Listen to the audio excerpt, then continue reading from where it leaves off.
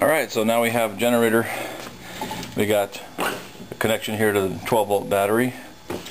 And uh, just to make sure, we can just take a measurement real quick just to see what the battery voltage is. We got 12 volts right there. There's 15 amp fuses right here.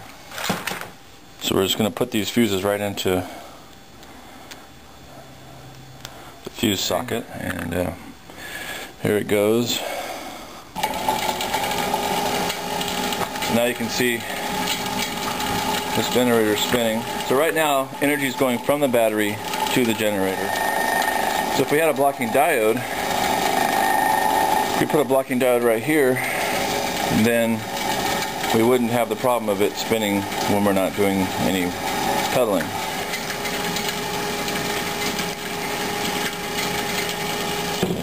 And this diode's rated for about 4, 4 amps of current, which is good for a kid's bike. And an adult could pull about 8 or 9 or 10 amps, but for kids you only need 4 amps. Alright, so we're going to put this diode in here. We're going to break the connection to the positive. And we have the diode. We're going to put the diode in here. And the other one right here. So now this diode is in series with the charger. So here's the diode. Notice now that the that the uh, the motor stopped turning.